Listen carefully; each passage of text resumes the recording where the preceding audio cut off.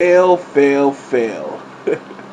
Yo, what up, crew? It's your boy Just Mike. We're back, we're back, we're back in this thing, man. Speaking of backs, take a look at this picture right here, man. This belongs to a one Stephan Freck of Germany.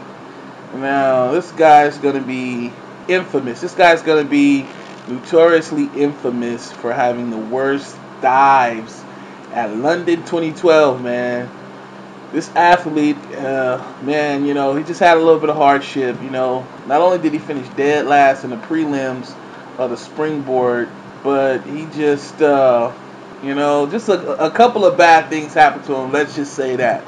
All right. Well, he was he was disqualified. Actually, he was disqualified from competition. He was eliminated on Monday, but you know he did earn a consolation prize. All right. You know, he's he's he's famous now. Famous for having the worst dive ever. Okay?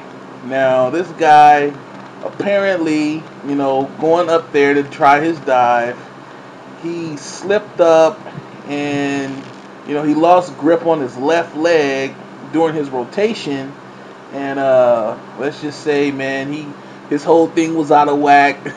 As you can see, man, he hit back first into the water and um, basically did a back flop into the water and the sound echoed through the whole arena. You know, everybody was laughing and everything. This is just, you know, real. I feel real sad for the guy. You know, I feel real sad for the kid. I don't know, man. If you saw it, let me know what you thought about it, man. Um, you know, it's more about the psyche of this kid doing it on such a big stage and all.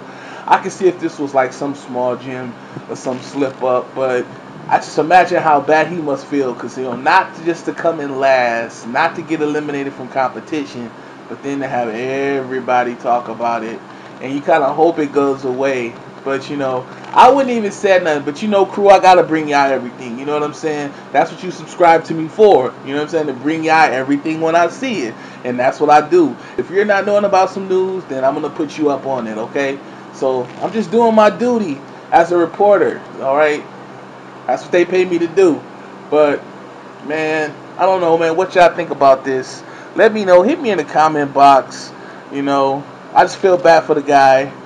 You know, but you know that's it for this one, man. Stephen Freck, worst dive ever, eliminated from competition at London 2012, man.